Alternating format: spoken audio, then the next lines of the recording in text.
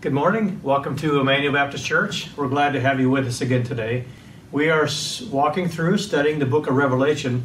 We're about to encounter Jesus Christ, uh, write letters to seven churches, and ultimately to his church, which includes us. These letters are meant not only for the churches who are here at the time of the book of Revelation and the time of John as he writes, but they're letters also for us. Before we get to chapter 2 and 3, where those letters are, are written, we encounter Jesus Christ very powerfully, very specifically here before he's going to show us his character. He's going to show us, again, he's going to reveal to us the certainty that we have in him as he then calls us to holiness and calls us to faith, to walk in faith. The book of Revelation is all about Jesus Christ transforming all things. We are in chapters uh, 1, 2, and 3 right now. And, uh, and so he's, John is writing about the things that he has seen what has he seen? He has seen Jesus Christ. Jesus Christ, who is now ascended to heaven, who has risen, he's in the presence of his Father. Now he's ministering to his church, then and now. He sees a glorified Jesus Christ. it, it is, it is a game changer. Uh, as far as John's perspective, what he sees, what he's able to be allowed to understand and see, is to us, it just shows us so much about what lies ahead and the certainty that we have in Christ. What an encouragement this passage is. And so we see the power, the sufficiency of Christ in the verses we're going to be in today. We're going to be specifically uh, in verses 12 through 20 today. What we're going to see today is simply the divine power of Jesus Christ. It's, it's uh, revealed here in the attributes, the qualities of Jesus Christ himself. What we see in the verses that unfold are, are simply descriptions of, of our divine Savior, of Jesus Christ today. And they stand as the foundation for what he's about to write. So let's look at these this morning and see what he has to share with us. Uh, they will speak to us, and they're true today. Uh, they are they are reasons why we continue to follow the Lord faithfully today because these things are true of our Savior right now, and they call us to faith. They call us to certainty. They give us assurance and hope because He's the same Jesus then as He is today, the same yesterday, today, and tomorrow. The first thing that we see as we begin in verse 12 is that Jesus Christ is indeed the head of the church. John says, Then I turned to see that a voice was speaking to me, the voice that was speaking to me. And on turning, I saw seven golden lampstands. And in the midst of the lampstands, there was one like a son of man. He is, he is here referring to himself as the Son of Man. Uh, uh it's a title that he frequently used in the Gospels. It shows his humanity and here he's also being equated uh, and revealed the divinity that he has as well. He's in the midst of these seven golden lampstands. We see later in verse 20 that these are these are the churches. And so Jesus Christ, he is here in the, in the middle of his church. The significance of that is Jesus is revealing to us before these letters are read that he is the authority of the church. He is our authority even today. Colossians chapter 1 reminds us of that. Paul writes he's the head of the body in the church that in everything he might have preeminence. Because God chose that all his fullness would dwell in Christ. He is worthy of all praise, of all authority. He is to be preeminent in our life and in our walk today. So he's revealed here in this verse as, as indeed the head of the church. Um, Daniel, John refers often to the book of Daniel. It's built on that. We see here Jesus Christ, we see the Father, there was one like the Son of Man, that's Christ, who came to the Ancient of Days, that's the Father, and was presented before him. In Daniel chapter 10, verse 5, we have Shadrach, Meshach, and Abednego who are thrown into the fiery furnace. And yet, when the king looks into that furnace, they're not only alive, they're not only one, two, and three, but there's a fourth, one like the Son of the gods. That's Jesus Christ here. Again, a, a reference point in Daniel that we see that's in harmony with what John is revealing here in the book of Revelation. And so John shows us right off the bat Jesus Christ in the midst of these lampstands, the lampstands who have a lamp, who are intended to be a light in a dark world. That is us. That's the church today. We are part of the church. We're intended to be ambassadors for Christ, a mouthpiece for Christ, to share the goodness, the gospel, the good news of Jesus Christ. Here, Jesus Christ is right in the middle of his church, watching, guarding, leading. We're going to see all that. Not only that, but as we pick it up in verse 13, we see that he is our high priest. He is clothed with a long robe. and with a golden sash around his chest. That's the that's the image. That's the picture that we get here of, of Christ, the Son of Man. Again, it it reminds us that Christ is the one who gives us access to the Father. He is our high priest. He gives us the ability to come to the Father because of his work on the cross. When we share the gospel and the good news of Jesus Christ, that's where it begins. Is that Jesus Christ is, is the means of relationship with the Father. We see that clearly in the scriptures. In 1 Timothy, he is, the he is the only mediator between God and man. He is the one, when we confess our sins, he is, the, he is the one who forgives us our sins. He is the one who cleanses us from our sins. That is, that is the priestly function that he's carrying out. He cleanses us from all unrighteousness.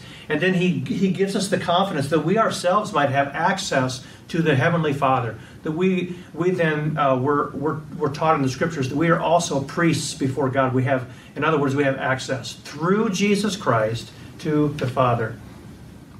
In Exodus, we are reminded as, the, as God established the priesthood in Israel, Aaron was to make a, a special clothes, garments uh, that he would wear as the high priest. These were holy garments. When he went into the Holy of Holies, there were many stipulations that needed to take place. One of those stipulations was what he wore. He would put on a holy linen coat, have a linen undergarment, tie a, a linen sash around his waist, wear a linen turban. These are holy garments. We again, we just see Jesus Christ as he's portrayed in Revelation. He's he's wearing the, that clothing that is consistent with his function, his role as our high priest, as the high priest. in Daniel, again, we see this. We see Jesus, a, a man who is clothed in linen with a belt of fine gold. There's contexts here in these verses. And the, we see the Father. He's the Ancient of Days in chapter 7. His clothing was white as snow. We see that attributed both to the, to the Father and the Son, the way they are portrayed, the garb that they wear, and the portrayals here in, in, in uh, Daniel. We're told in Hebrews that Jesus Christ is indeed your high priest, my high priest. He is our high priest. He's merciful, he's faithful. Um, and so he he gives satisfaction to his Father for us, for, for our sins, so that we can come to him, we can be in relationship to him. You know, the beautiful thing here in Revelation is that Jesus Christ, he's, he's built the church, he's walking among the church, he's the head of the church, he's our high priest. He gives us the ability to be in relationship with his Father. It starts with him, it continues with him, when we need to, to be right with God, to have a clear conscience before God, to be in, in, true fellowship and communion with God, we lay our sin before Him even now. And Jesus Christ, on the basis of His role as high priest, He washes our sins, He cleanses our sins, He keeps us in right fellowship with the Lord. That's what He does. In verse 14, we see this that He is, he is indeed not only the high priest, in that role, He is our righteousness, He is our holiness. Verse 14, and the hairs of His head were white like white wool and like snow. This can return. This can refer to uh, sometimes uh, show the eternal attribute of Christ or that He's all wise. But what it seems to be referring to, probably more specifically in this context, as high priest, and where we're going is is the fact that that. Uh, uh, it's indicating and showing his righteousness, his holiness. Jesus Christ is absolutely holy, and he is righteous. Uh, he is the one that gives to us the character of righteousness. He is the one who makes us holy. You know, sin just defines us. Sin is where we were when we met Jesus Christ for the first time. And Jesus Christ washed that and cleanses that. He continues to do that in our life today.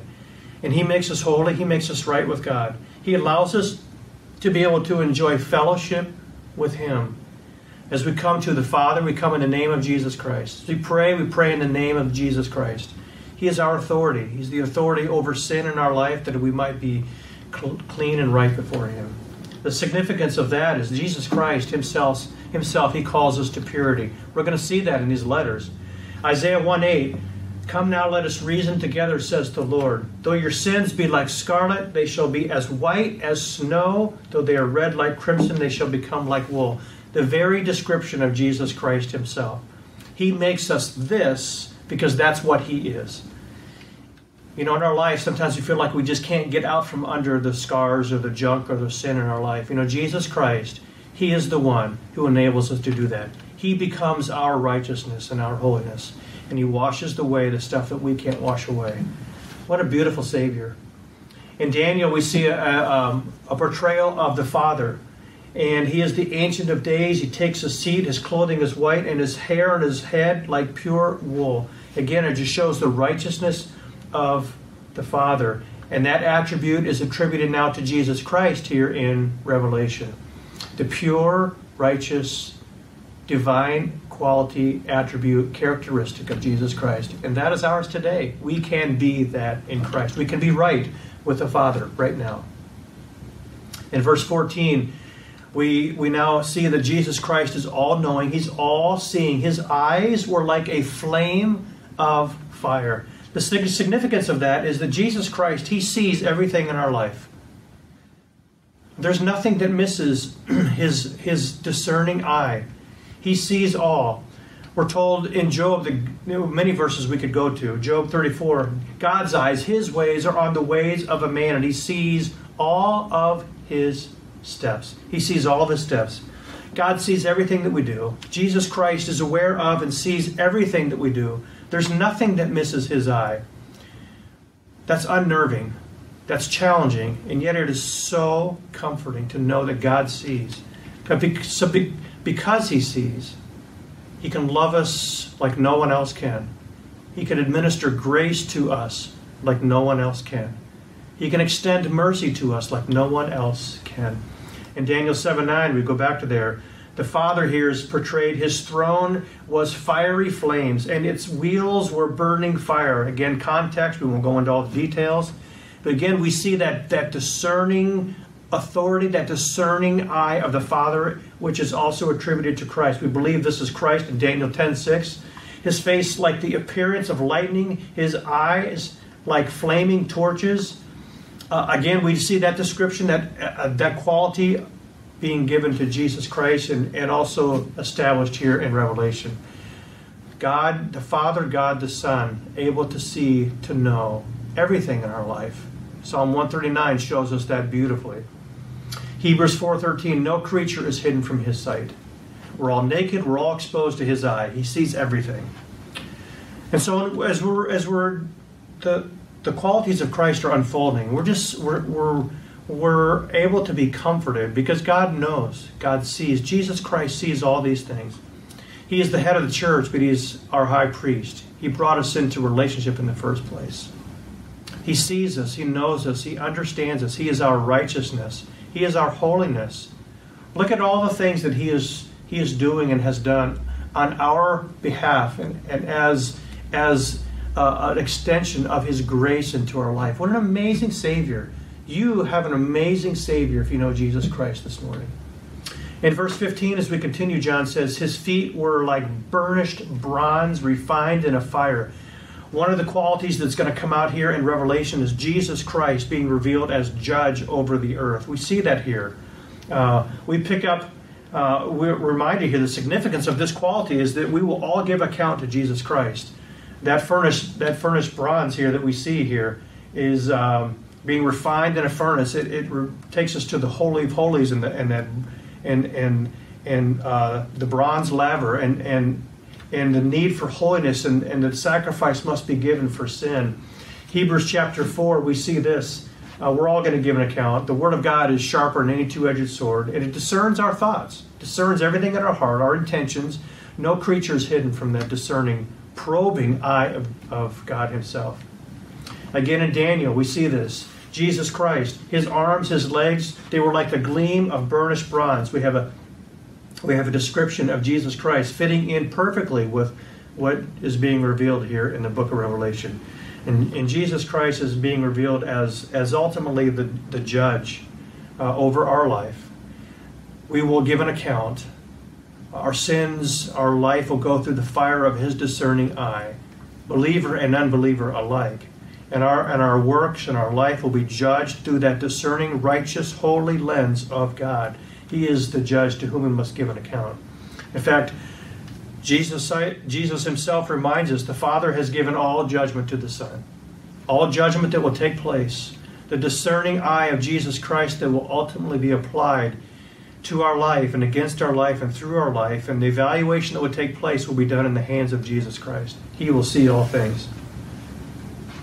We're reminded in Acts, Paul tells us that Jesus Christ, he was appointed by God to be the judge of the living and of the dead. There is no one who has lived in the past, who lives now, or will live in the future, who will not come under the, the ultimate discerning eye of Jesus Christ when we stand before him. He will see all things. To him we will give account. His eye is, it reveals, refines the deepest things in our life. It cannot be hidden from him.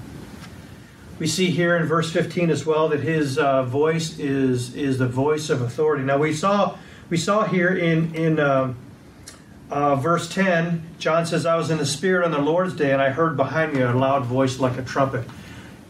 God was getting the attention of John. When we see the trumpet in scriptures, we see God getting the attention of mankind.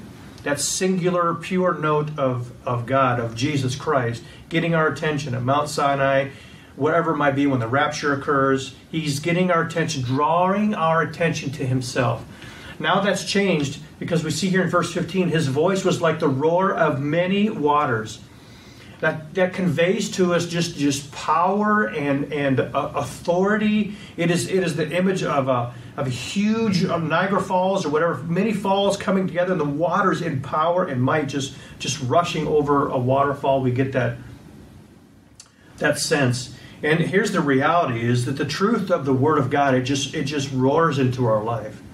You know, sometimes it's the small, still voice of God, but when it penetrates your life, when the scriptures touch your life, its impact is large, its impact is life changing, its impact is huge. It changes us. And it roars, its truth roars against the the deceit, the lies of our own life, and we are washed and we are cleansed and we are made holy, we are made righteous, and the truth of God just washes into our life. And Jesus Christ, as He speaks, He speaks here with authority. That's what's being conveyed by that word picture. God's truth. Deuteronomy 30 19. I have set before you life and death, blessing and curse. Therefore, choose life. The truth of God leaves us with a choice. It roars into the life of humanity, into our culture. Every man, woman, and child is ultimately held accountable to God's truth. And we must make a choice. The authority of God, we encounter it. When we stand before the Lord, every man, woman, and child, we will stand without excuse because we've had an opportunity to experience, to see, to understand the authority of God in creation, in our conscience, ultimately from the Word of God. In Daniel, we see this that the sound of this, we believe this is Jesus again, the sound of his words was like the sound of a multitude. Again, consistency, harmony in the description that we see here of Christ. It just shows us that Jesus Christ is authority. He is our authority. He is the head of our church, head of the church, to whom we are to yield, and He is the authority in our life. When He speaks, we are to listen. We're going to see that. Verse 16 In His right hand He held seven stars. He's our guardian, He's our shepherd. Here we have Jesus Christ holding these stars. In verse 20, we'll see what are these stars? Uh, the stars are the, are the churches, they're the, they're the messengers. The church is in His hand. The, the pastors are in his hand. We see God holding us in his hand. He's watching over us. He's taking care of us. The significance, the significance is simple. He has us in his hands. When, when we become a child of God, we belong to him. Nothing can change that in our life at all. John 20, I give them eternal life and they will never perish. No one can snatch them out of my hand. Here we have here we have Jesus Christ in these verses. He's holding his church. He's holding those pastors. He's holding us in relationship. That relationship can never be undone. No one can snatch us out of that relationship. You know, we sin, we struggle, but if we genuinely know Jesus Christ, nothing can take that relationship from us. In fact, Jesus Christ then draws us closer. He brings us to the point of confession, repentance, and He brings us to the place of power and of overcoming and, and of conforming to the image of Christ. That's what He does. As to the mystery of the seven stars, the seven stars are the angels of the seven churches. We'll, we'll come back to that. So Jesus Christ, He secures us, He holds us. What a what a beautiful thing. We see here in verse 16, from his mouth came a two-edged, sharp, a sharp two-edged sword. His truth, his truth is irrefutable. His truth is unopposable. Uh, it cuts into our life. The significance is the Word of God, which is His Word, is the standard to which we're going to be held accountable. All of us have the Word of God. Whether we read it or not, as a child of God, we're going to be held accountable. Whether we believe it or not, as an unbeliever, we will be held accountable to the standard of the Word of God. The Word of God is the standard for life for all people, every culture, every skin color, every economic, social background, doesn't matter what it is. We are to yield to the truth of God's Word. It is, it is the standard for our life. It is the promise for our life. It is the hope for our life. It is God's, God's truth. And so we're reminded in John that, that when we reject Christ, we are rejecting his words. My words, my words, they have a judge, the words that I have spoken. The words that Jesus Christ has spoken will be the standard against which we will be measured one day. Hebrews again reminds us that the Word of God penetrates our life, every area, and to that Word we are accountable. Whether it's, uh, whether it's truth coming from creation, whether it's truth coming from our conscience that God has put into our soul, ultimately, whether it's truth from the Word of God against which, against which all other truth is measured and defined.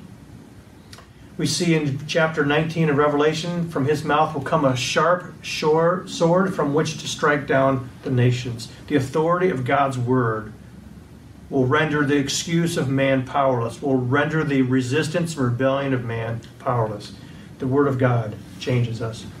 Verse 16, his face was like the sun shining in full strength. Here we see Jesus Christ in holiness and in majesty, in full glory. His face was like the sun, and it's shining in full, glaze, uh, full glory.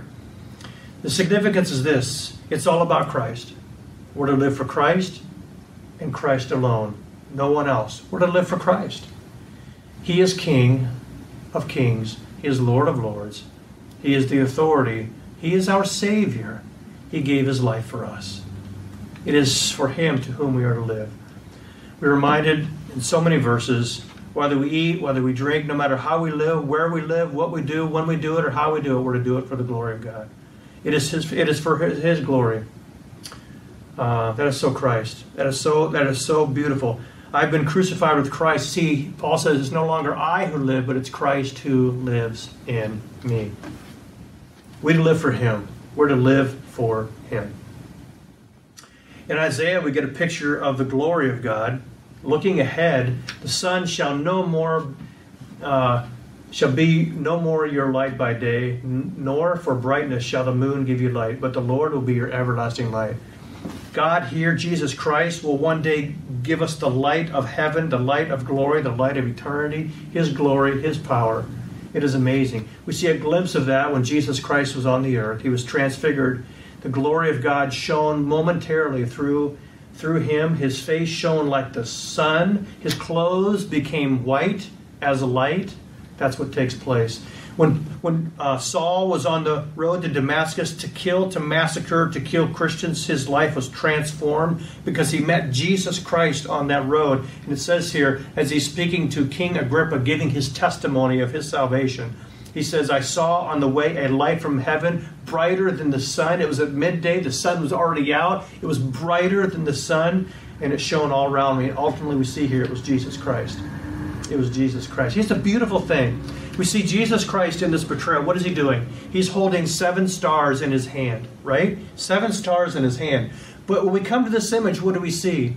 We see the glory of God, his face shine like the sun. Where is our focus going? Is it going to the seven stars? No. In this image, our, our focus goes to where? Not to the stars that he's holding. It goes to Jesus Christ. It goes to his face. It goes to him.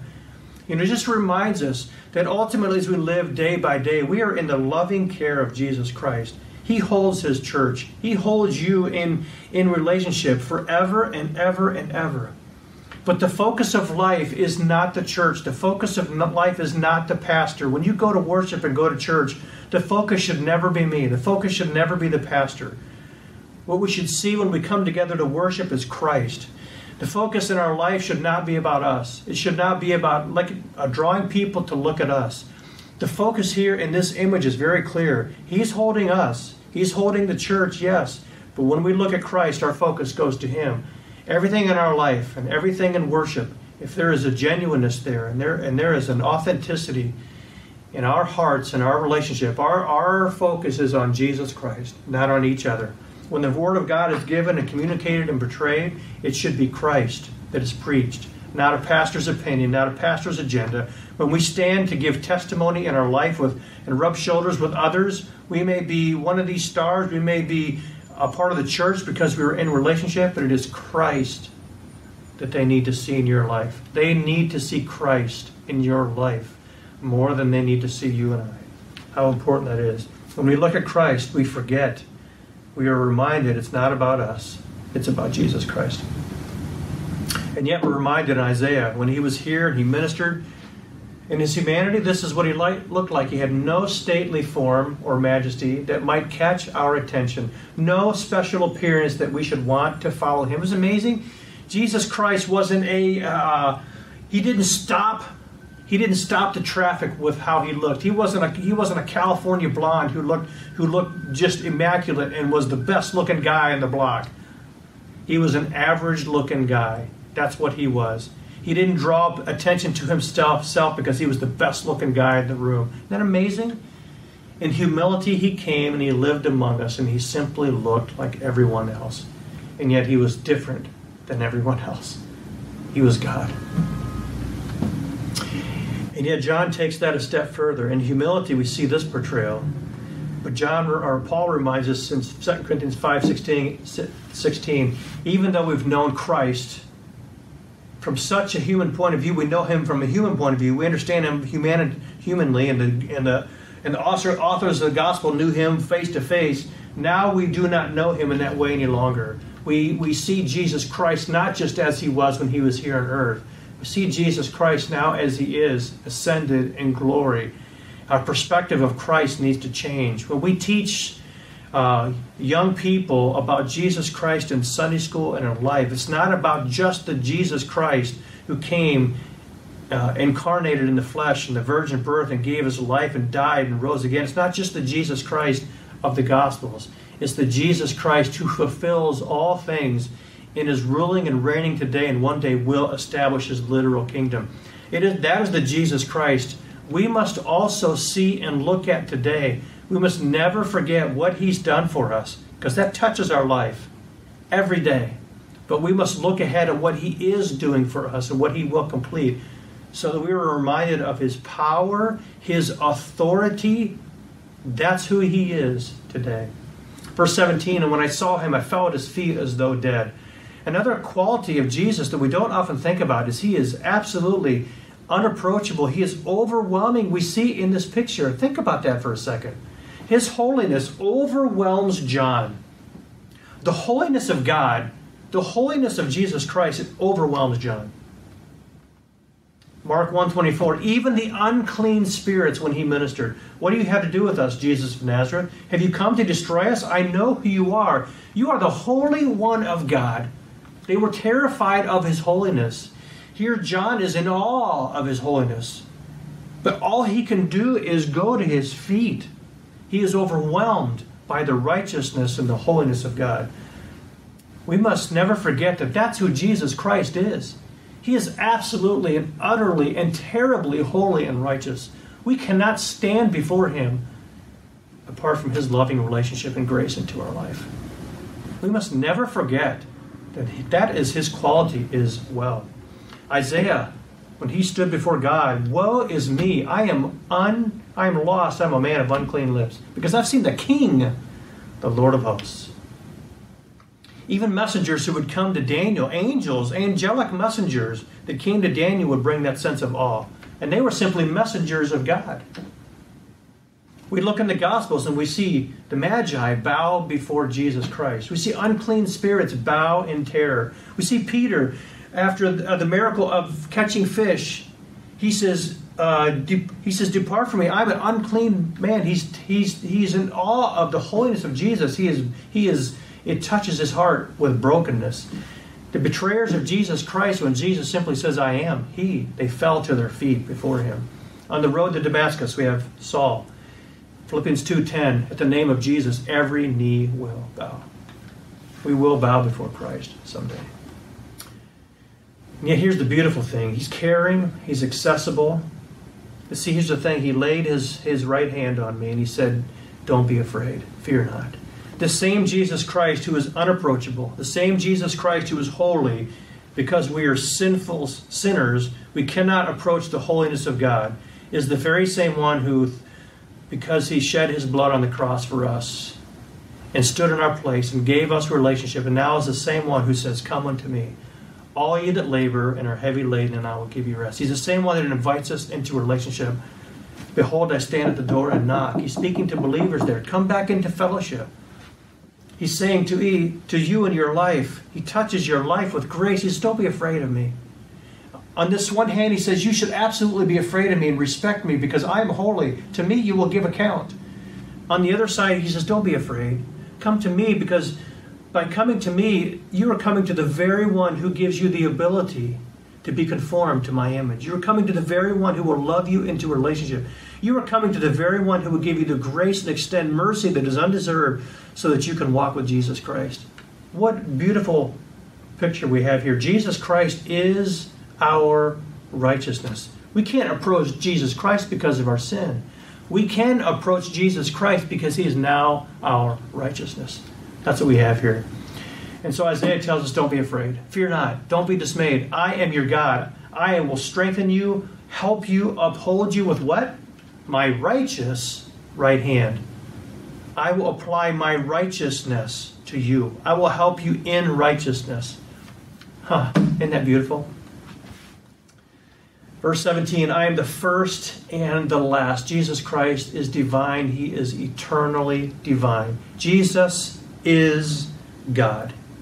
He's the Alpha and the Omega, the first and the last, the beginning and the end. All these, all these, all these pairs speak to the Father, they speak to the Son. We're reminded in John when the gospel was just started, in the beginning was the Word, the Word was with God, and the Word was God. We have God the Father, we have God the Son in total equality and essence there in that verse. Jesus is God. Exodus 3, God says to Moses, Who shall I tell Pharaoh is sending me? God says, I am who I am. And he said, Say this to the people of Israel I am has sent me to you. Jesus Christ said in the Gospels, Before Abraham was, I am, applying the same divine name to himself as was applied to his Father and revealed in Christ in the Old Testament. Verse 18, and He is the living one. He's the source of life. He is our source of life. The significance is this Jesus Christ, He alone is life. Jesus says, I am the way, I am the truth, and I am the life. No one comes into relationship, no one comes to the Father, no one, no one has life with the Father except through me. Whoever has a Son has life. Whoever does not have the Son does not have life. Nebuchadnezzar, King Nebuchadnezzar of Babylon, he was he was he was separated from God. He lost his kingdom. He was driven into insanity, and God restored him. And then he worships God here. You are the Most High. You are praised and honored, and I honor the one who lives forever. The very description of Christ himself as well. John 5 26, as a father has life in himself, so has he granted the Son also to have life in himself. Beautiful. Verse 18 I died, and behold, I am alive forever. He has conquered death. He has conquered death in our life. Jesus has overcome. How significant that's going to be in the coming verses. How significant these attributes, these qualities will be to those who are reading this letter. I am the resurrection and the life. We are to come to Him in faith. We're to believe. This is who He says He is. He died for our sins. He was buried. He rose again on the third day. He is life. He conquered death. He overcame. He's going to call us to be overcomers. But you see what? He's already overcome. The most challenging task, the most challenging trial, the most challenging uh, hardship or adversity we could ever face has already been won because Jesus Christ won that in his own life. Now he gives you the same power to overcome. Verse 18b I have the keys of death and of Hades. He seals, he secures the destiny of man It is in His hand. Christ is our deliverance. He is our only de- deliverance. He holds, holds the keys of death and Hades.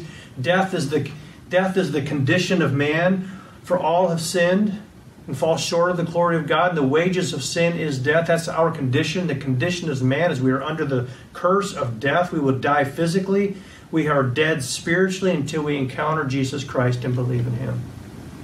Our God is a God of salvation, and to God the Lord belong deliverances from death. And He is the God of Hades. That is the location. That is where that is where we go. It is many many many elements of what that is after we die, separated or with God.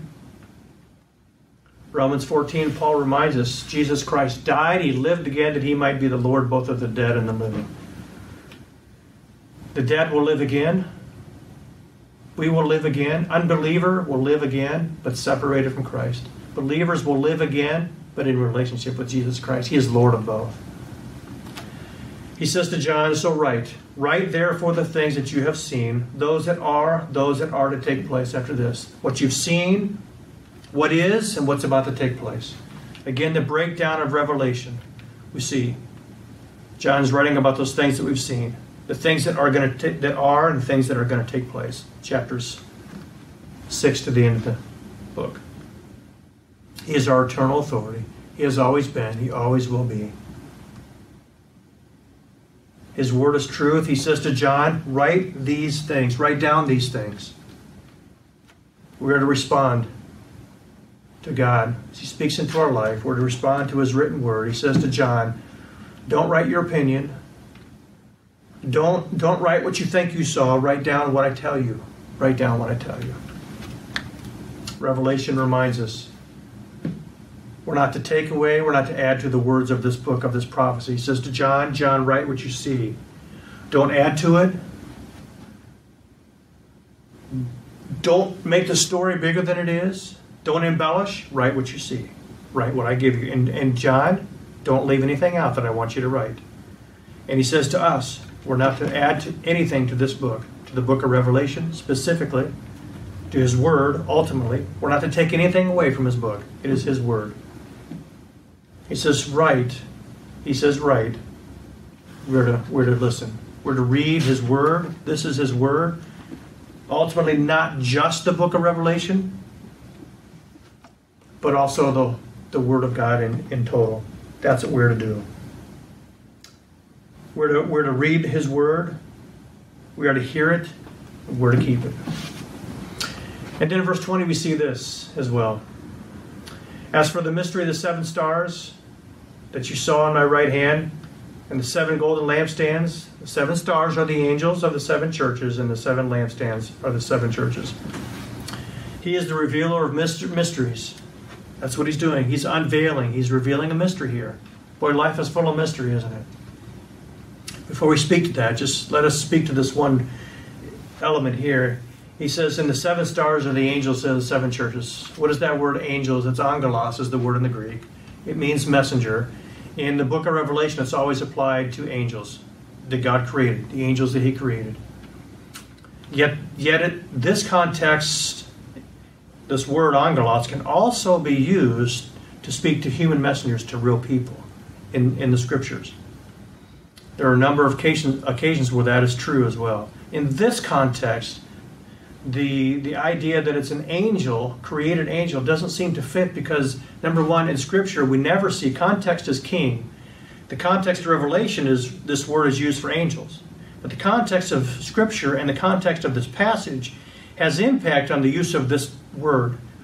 Because in the context of this passage, Jesus Christ is being portrayed and he's setting up the letters that are going to go to the seven churches. He's speaking to the angels of these seven churches.